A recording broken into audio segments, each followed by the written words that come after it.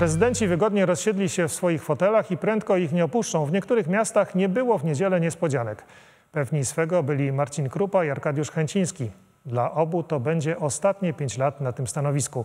Łukasz Kądziałka.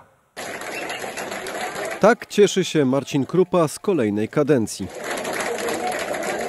Dziś, gdy emocje już opadły, mówi o tym, że wynik mimo wszystko jest zaskoczeniem. Nie spodziewał się aż tak wysokiej wygranej. Zgarnął ponad 60 tysięcy głosów, co przełożyło się na ponad 62% poparcie. Już w kampanii z dystansu patrzył na poczynania konkurencji. Choć kontrkandydaci apelowali o debatę, prezydent Katowic nie zdecydował się na bezpośrednią konfrontację. Nie miałem nic do dodania.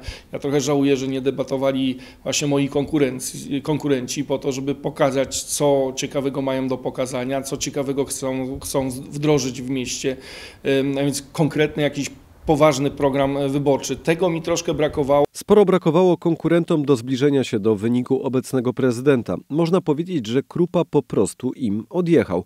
Uzyskał około 50% głosów więcej niż Leszek Piechota z PiSu i Dawid Durał, który zaledwie tydzień przed wyborami został zatrzymany przez policję i usłyszał zarzuty prokuratorskie. Bezkonkurencyjny okazał się też obecny prezydent Sosnowca.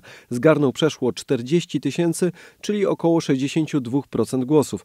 Nawet gdyby połączyć wyniki jego kontrkandydatów, to i tak triumfowałby w wyborach. U nas rzeczywiście e, spokojna była e, e, kampania, gdzieś tam dreszczyk zawsze jest emocji i nigdy nie można lekceważyć konkurencji, dlatego robiliśmy swoje, ale, ale rzeczywiście gdzieś tutaj z tyłu głowy była ta, ta, ta, ta, ta świadomość, że powinno być dobrze. Pierwszej turze rozstrzygnęły się także wybory w Bytomiu, gdzie mimo bardzo kiepskiej frekwencji zwyciężył po raz drugi Mariusz Wołosz.